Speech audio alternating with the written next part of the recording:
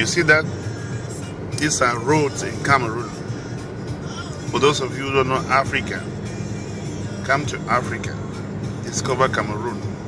These are the untold stories, the places you never get to know. We are there, we are living it, and we're enjoying the scenery. You see all of that? I'm riding on the way from Garoua, from Maroua down to Garoua. Trust me, it's all beautiful.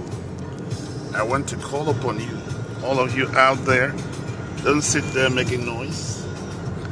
Come and enjoy. See that?